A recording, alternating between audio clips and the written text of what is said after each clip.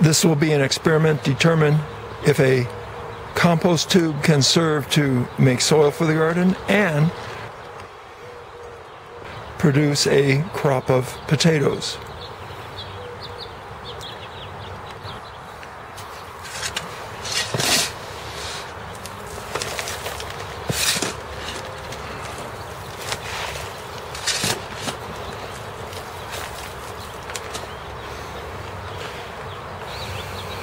I'll video the results at the end of the year.